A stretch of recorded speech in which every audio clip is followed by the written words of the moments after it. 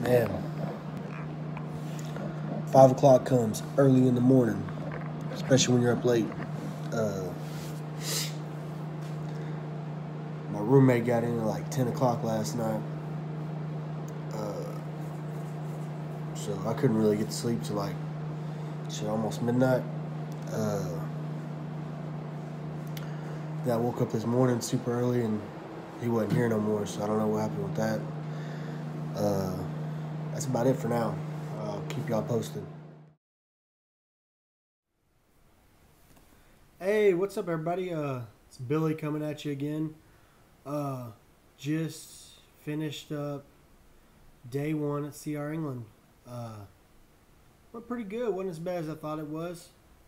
Got early start this morning. We got on the buses at six o'clock. Uh, got there. Uh, roll call was at six forty-five. Uh, met the instructor Mike and Lisa. Pretty good, pretty cool, pretty funny. Really, really smart and informative. Uh,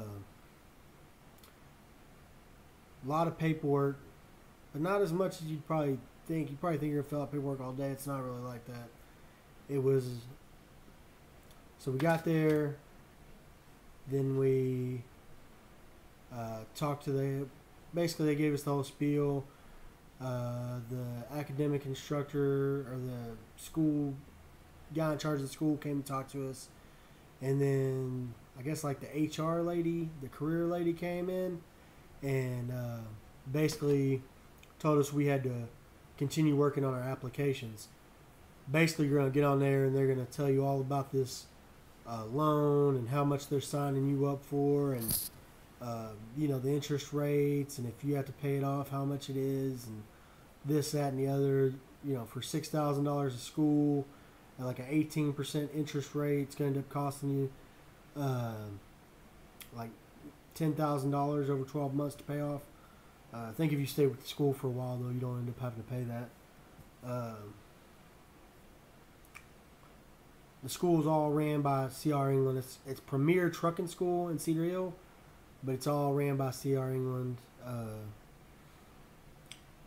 then after that, uh, medical came and talked to us. Mike gave us our homework assignments. Got to get to work on that permanent test, and homework's just writing stuff down a whole bunch of time, trying to memorize it.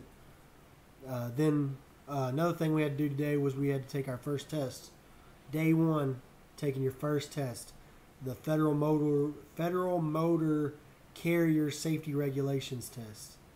It's like a requirement for DPS that you got to take it. Uh, wasn't too bad. They give you a book. It's a pretty big book. All the answers are in here. And on each question, it tells you what uh, section of the book it's in. So it's not hard. It is time consuming. It will take you most of the day. Between that, medical, and your application, you might have a little bit of time to get started on your homework assignment, but not much.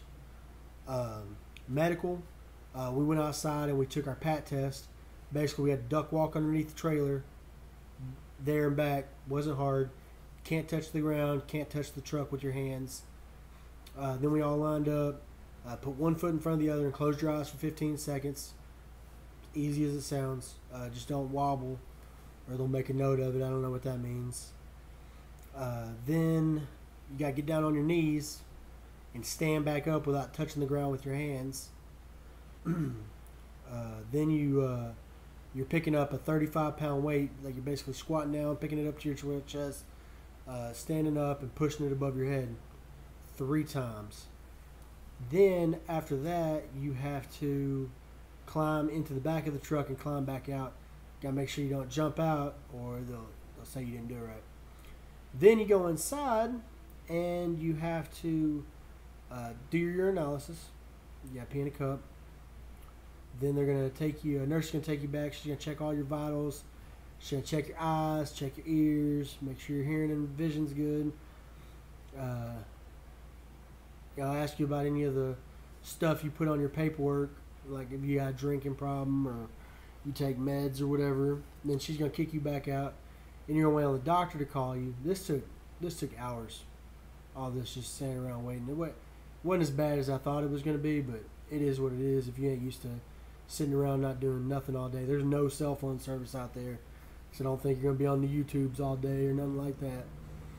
I don't think you're gonna be uh, Facebooking it up. Cell signal is not out there. Uh, there was a food truck for lunch, a little pricey for what you're getting, but there's not a lot of competition out there because that is the only place you can eat. Unless you bring your lunch, you can bring your lunch, but uh, I don't know. Um, so that's medical. Took the test. You got to turn that in. So those are the three things you. Well, you don't have to get medical done. Some people didn't get medical done. Two things you got to do. You got to look over that contract and sign it, basically saying that you're going to pay back that loan once you get your CDL, and you got to take your Federal Motor Carrier Safety Regulations test. You have to take that. Uh, like I said, there's a bunch of stuff. Just not a bunch of stuff, just big stuff all day. Big stuff, big truck driver stuff. So, uh, anyway, we got done at four. They threatened to keep us till five. They only kept us till four, so that wasn't bad. S- Seven to four, pretty much. Not bad at all. Pretty much best working hours I've ever had. And they talked like today was the worst day you're ever gonna have. So they said tomorrow's gonna be bad, but it's not gonna be as bad as today. Today's the worst day. It's not gonna be bad. Uh, yeah, so pretty good.